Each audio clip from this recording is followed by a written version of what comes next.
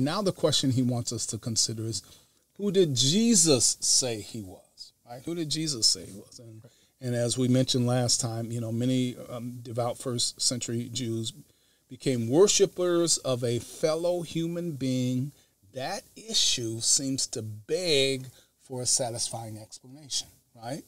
And so we can't help but ask, what was it about Jesus then that convinced them that he was uh, the Son of the living God? Right. right? Pretty important.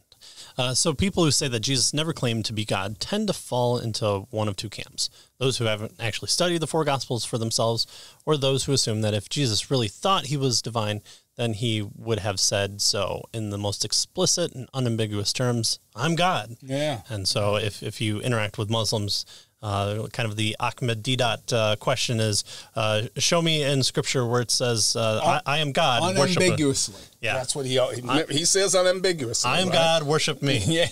Okay. Well, Yes. Well, he says that, but but it may not be as unambiguous as he wants, right? right? right? And so Anderson tells us it takes only a moment's reflection to see that it would have been very counterproductive for Jesus to have spoken, you know, these terms, "I am God," right? Uh, Anderson tells us he would have been dismissed by everyone as blasphemous, you know, kind of a lunatic from the very outset, and nothing else he said would have been taken seriously, right?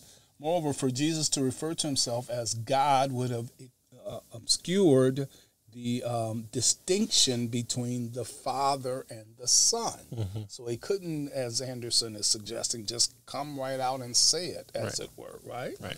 You know, God's not sitting around. Okay, let me under, explain to you the Trinity in in you know fourth century terms, and I'm going to bring it back to you. He kind of uh, points them to scripture and there are uh, certain kind of subtleties that he takes and also there's reasons that he does speak in these kind of story forms it's so that people who uh, kind of have the the spirits leading um, uh, believe based on Can the working of, of further God. and yeah that sort right. of thing yeah right uh, so so even performing big miracles, but once he tells them certain hard hardship things, even the disciples are like, "Are you, you sure you want to say that?" And you know, most of the audience goes away because they, they just kind of want that easy king that rides into into Jerusalem and knocks and out makes Rome. a lot of bread and, and fish. Yeah, yeah, and wine. yeah. and it's uh, essential to recognize that Jesus had uh, had many other things to teach people than simply I'm God. Yeah, so you know, he didn't come just to proclaim I'm God, okay, you know, and then go back. Right. right? Repent. Yeah, yeah. For the kingdom of God more is at than hand. just that, right? Right. Yeah. Yeah.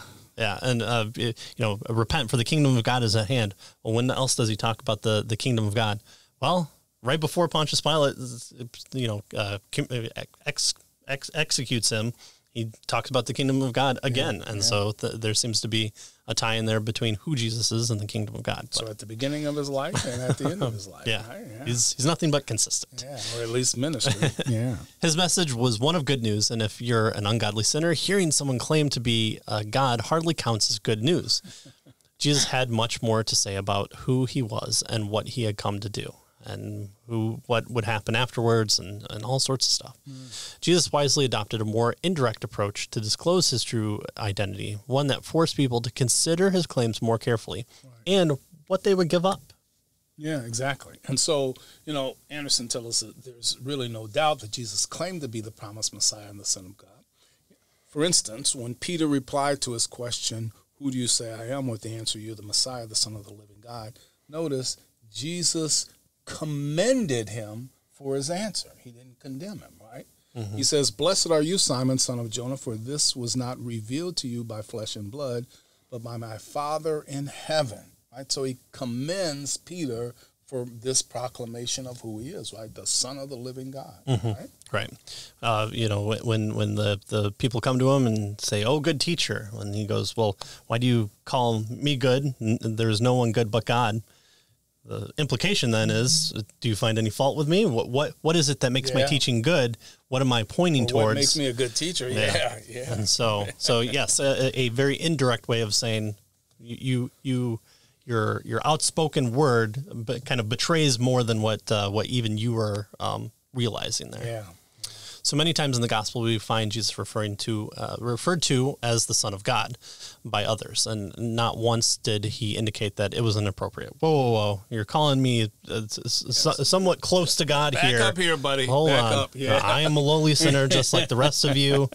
You know. But no, he doesn't. In fact, Jesus used this title on himself on occasions, and at other times he refers to himself as the Son in contexts where it's clear he meant the Son of God. Right. And so it's important to recognize, Anderson tells us, that Jesus treated this title, Son of God, as the one that applied uniquely to him. You know, it's not as though Jesus was calling himself a son of God, Right. right? No matter what the Jehovah's Witnesses That's try to tell you. As if other folks could be a son of God or a daughter of God in the same sense. Mm-hmm. No, no, no. He claimed to have a one of a kind relationship with God the Father, one that uh, preceded, notice, even his human birth. He was the son of God before he was born, right? John 8 58. Before Abraham was, right? Yeah. I am, right? Right. That kind of stuff. Right? Yeah. Ego eimi. 8, Yeah.